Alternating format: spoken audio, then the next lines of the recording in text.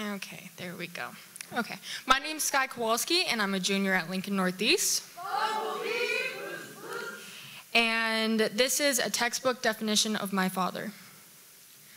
Father, noun, a man in relation to his child or children. Father, noun.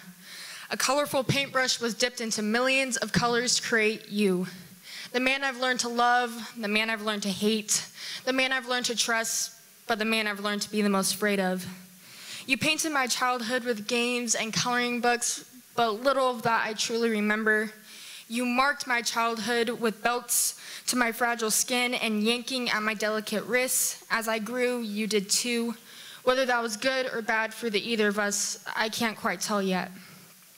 You yell a lot like crows herding around a carcass. I mumble a lot more like a mouse afraid of the dark.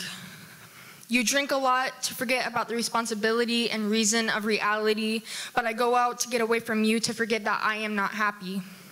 You smoke a lot, a habit I've learned from you, blacking our inside, filling our lungs with tar and poisonous heartache, blacking our insides like we want our minds to be, but you aren't necessarily your habits.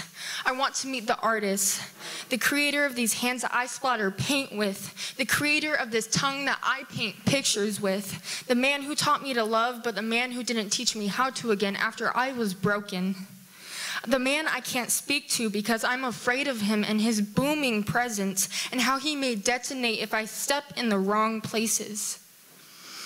Dad, I show you my art because you are my Picasso. I show you my poems because you are my Robert Frost. I want you to hear my words because without you, they wouldn't exist. I want you to respect me just as much as I want to respect you.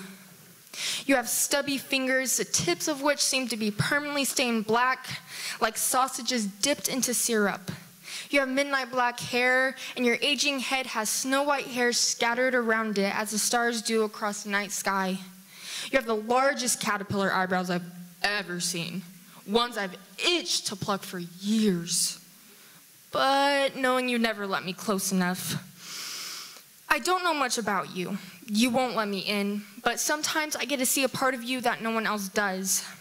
I know I make you seem like the bad guy because you can be when you let the sludge of your past boil inside of you, but I wish I could show people how witty you are when it comes to jokes, how kind and understanding you can be, how generous you have been with me and my four younger siblings compared to others how much you love us, but I wish I could see that too.